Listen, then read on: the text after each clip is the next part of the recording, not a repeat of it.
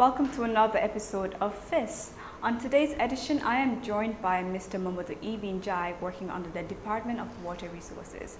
Now, he discusses about how poor sanitation and climate change is affecting our natural water resources. But first, stay tuned for health and fashion.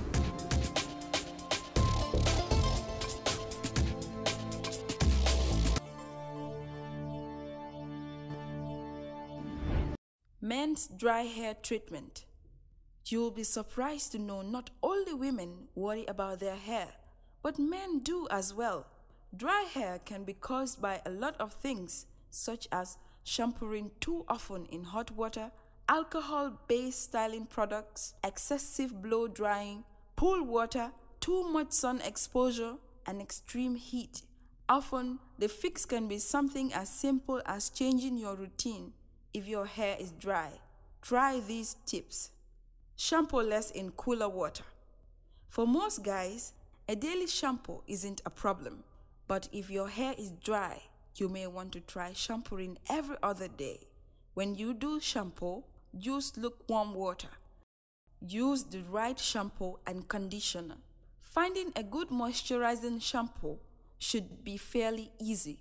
Look for a professional product labeled as moisturizing or for dry hair. Use the product each time you shampoo. Use the right styling product. When selecting a styling product, choose one without alcohol. Welcome back from Health and Fashion. Joining me now is Mr. Momodou Ibn Njie from the Department of Water Resources. Mr. Njie, welcome to FESS. Tell us a little about what your job requires you to do. Thank you. I am Momodou B. I work for the Gambia Country Water Partnership. The Country Water Partnership is a neutral stakeholder platform consisting of national stakeholders in the water and water-related resources. Well, precisely, our role is to advocate for the implementation of the principles and practices of integrated water resource management at country level. Now, how accessible is um, clean drinking water to the Gambia right now? Okay. As of now, I can say the larger part of the population have access to clean drinking water, but it's not sustainable considering the practice in place because it is prone to so many, so many threats. What type of threats? Like pollution, climate change, uh, and so on. So would the um, over uh, abstraction, mm -hmm. population growth, they are all threats to the availability of fresh water, especially drinking water. Now, would the decrease in rainfall be one of those? That is why I say climate change is a threat, because climate change determines a lot of things, including rainfall, sunshine, disasters like floods, droughts. Now, as far as the Gambia is concerned, we are endowed with three main water types of water resources, and among them one is rainfall. Rainfall pattern these years is decreasing seriously because of climate change, global warming. Maybe you have been hearing about climate change. Like last year, there was not enough rain.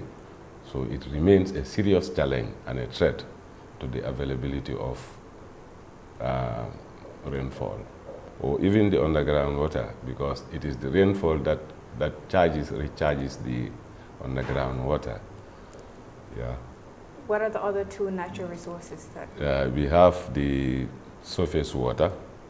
We have the, the underground water. It is the surface water that is found in the rivers. Like for the Gambia, we have two uh, rivers. The River Gambia, that's the main river, part of the Atlantic Ocean, that is not a river. We share it with others. The River Gambia, too, we share it with other two, three countries. And you have the Allahein River that is around Kartong area. It's a small river. We share that with Casamance. We call them transboundary waters. So this uh, surface water is also found in Greeks. Greeks, that's what we call locally in, as bolons, bolons, mm -hmm. or in ponds. So the other type of water resources we have is the underground water. The underground water, we have two, two, uh, two levels. You have two aquifers. Aquifers are the containers, uh, the, the, what they call the water pools. You have the top one and the down one. The top one you can have from 5 meters to up to 70 meters. But that one is confined within the Gambia. And it is semi-confined, semi-confined in the nature that it is not everywhere that you can have them. So you have the deep one, the shallow uh, aquifer. That one, we share it with uh, Senegal, Guinea-Bissau, Guinea-Conakry, Mali. That is the down one. That is why there is a saying that underground water and surface water have no, no respect for political boundaries. You could see that the, the underground water, the down one, and the surface water travels all the way country to country. Back and forth. Fine. Now, so, well, let me ask you this. What are we doing about the pollution and sanitation issues that are bringing a threat to our clean water? Thank you. Taking this into consideration, let me start it at global level. Now, the world, through researches, have found out that there are a lot of threats of which our water resources are exposed to. Like I said, climate change is one, over abstraction is two, population growth, waste, and, uh, waste uh, is, is three, pollution also is a threat. So now based on those statistics, the UN in collaboration with other multilateral or bilateral institutions, have organized series of forums, including the, so, uh, the, the famous Rio 92. I think you have been hearing about Rio 92. Mm -hmm. That's where the world converged to discuss on sustainable development, which cannot go without water. There cannot be any development, even life without water. So, followed by other series of forums then the UN decided to establish, uh, facilitate the establishment of a global platform. And that platform is called the Global Water Partnership. Global, okay, the headquarters is in Sweden. So now that Global Water Partnership in collaboration with other bilateral institutions, together with the UN, UN at its level also uh, established what they call UN Water. So those uh, collaborative efforts have yield, uh, resulted to encouraging governments to come up with a new system. See, that's what I want to know. What are these systems that are in place to make yeah. sure that yeah. we um, are no longer a threat? Yeah, that's why I, to the national level, I'm coming, starting from the global, the root. So at global level, we have the UN and other playing, uh, players, like the Global Water Partnership. So they encourage regional partnerships to be established and they encourage national partnerships to be established. So ours is a national partnership. We are an affiliated member of the regional and the global.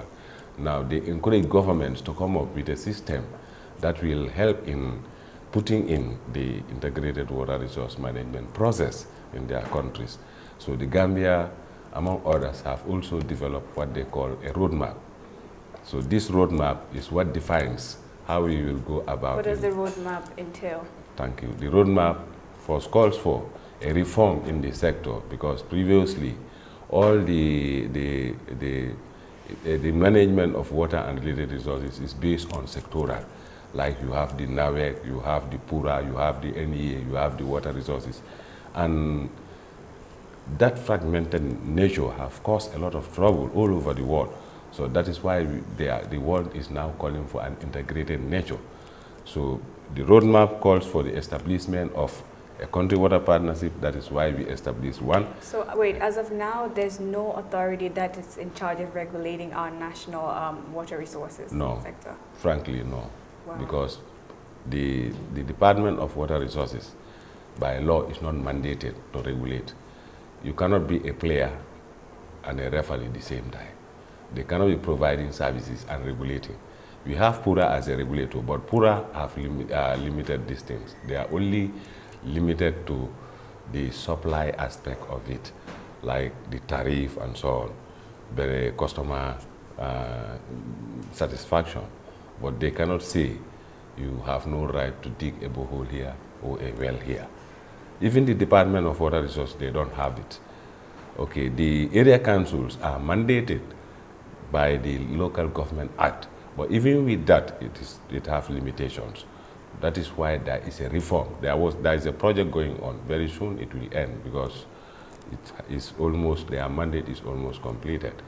That is the water sector, national water sector reform uh, project. So now that project have come up with uh, two bills, sorry, three bills. One will be the, the Gambia water bill.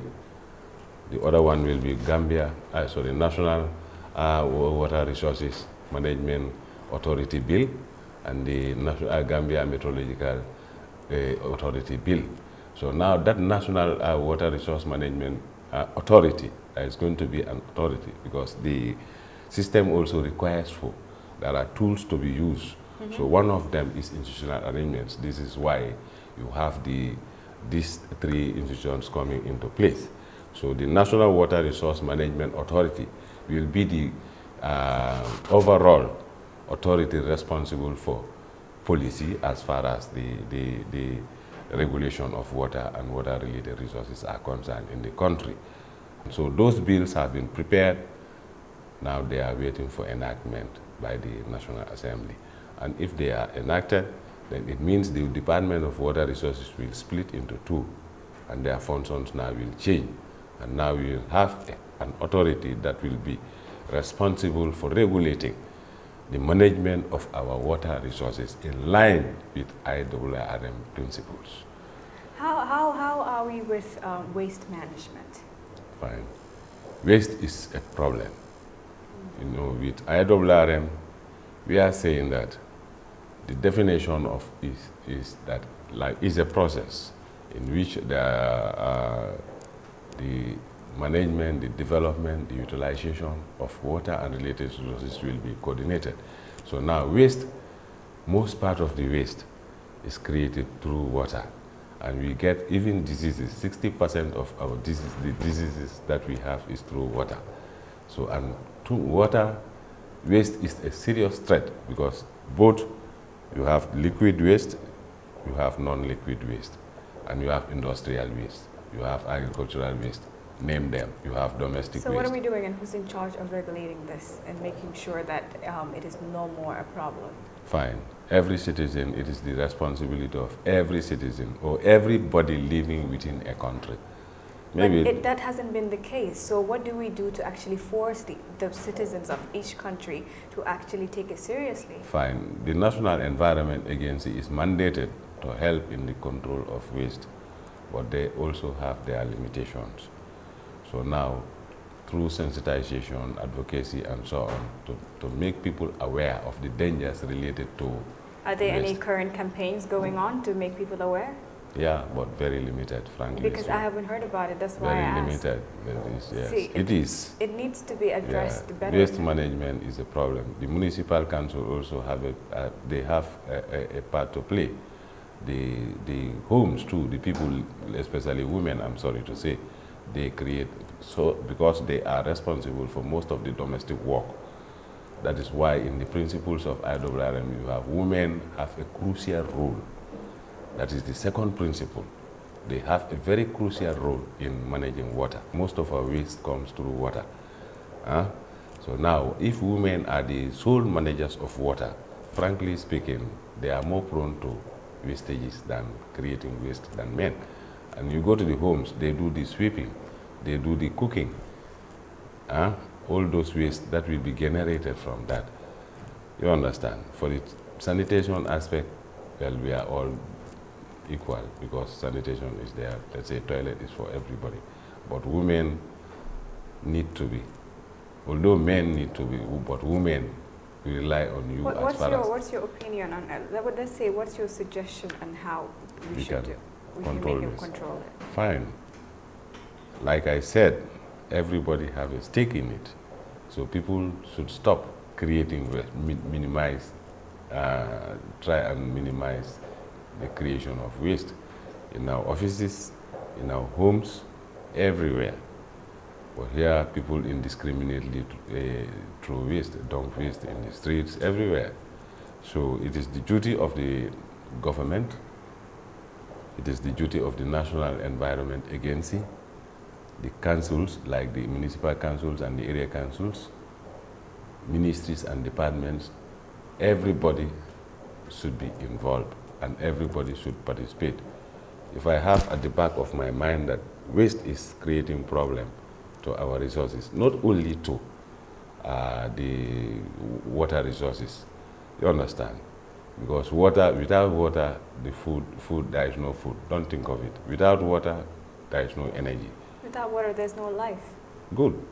So as far as waste is a threat to that, then it is obligatory on every one of us, frankly speaking, to contribute your part at your level. How can you involve? You start by yourself.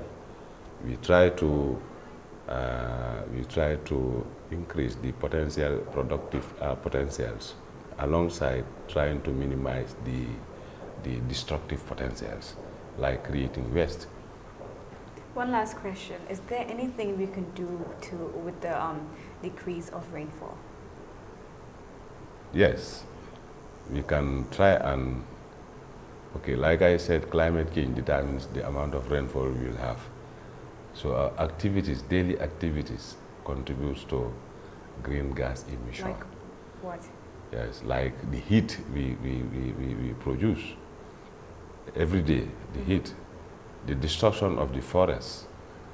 You understand? Trees, in every aspect, scientifically, religiously, trees are related with water, especially rainwater.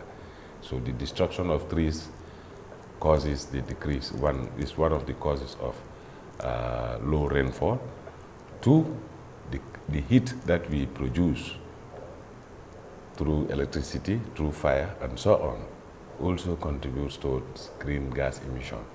Now, those trees, they're like the mangrove trees. Maybe you don't, uh, you may know about mangroves. They are found normally around the riverside. Mm -hmm. Those mangrove trees, they, they absorb a large quantity of uh, carbon. You understand?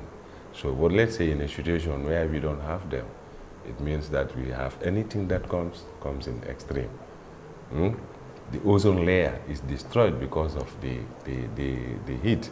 And the ozone layer also helps in absorbing a large quantity of carbon so that we are free from other destructive aspects. So now everybody should try as much as possible to try to reduce the amount of energy that you create. Mm? You don't light, put light on unnecessarily. So basically just put yeah, it on if you yeah, need to switch it off you're Yeah, you only need And perhaps we can also grow more trees. Good, and, and try to preserve the trees because even the principle is saying that we should, the IWRM, uh, sorry, uh, definition is telling you that we, uh, we maximize, uh, we maximize the, the, the, the utilization of the resources. You understand? So as to get the economic and social resultants without compromising the environment and the ecosystem. Maybe as a layman, you may feel that the ecosystem, that is the, the, the, the, is not important as far as our life is concerned, but it's directly connected with water. All these things are connected. Without the ecosystem, there is no fish in the, in the river. The amphibians down there will all die. You understand? So we don't have fish on our plate. Without food, without uh, water, we cannot have, uh, uh, we cannot breed animals. So there is no meat on the, on the plate. There is no rice uh, on, uh, on the table. So you see, they are all interlinked. So everybody, you have to put, have this at the back of your mind that let me try and reduce hmm, the waste that I'm creating for the destruction of our resources, including water. Thank you very much, Mr. Njie, for joining yeah. us. Yeah. Thank you. Thank you, too.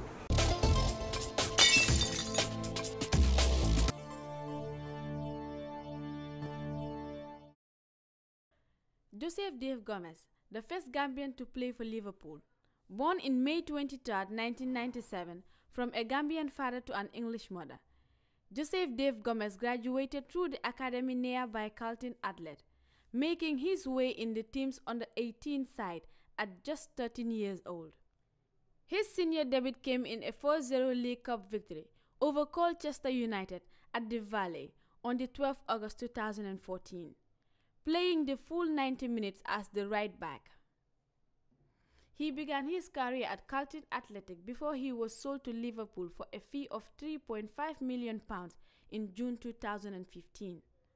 Gomez has represented England up to under 17 level and played every minute of every game when England won the 2014 UEFA European League under 17 championship. That's all we got for you on Lubes this week. See you next week. I am Mariam Jara. Thank you for joining us on today's episode. Now, I think it is very important that we take care of our environment and to limit or actually not pollute at all, be it liquid or solid, because it is us that live in this country or this planet in general, and thus we will have to suffer the consequences. But see you soon on FESS next week, same place, same time.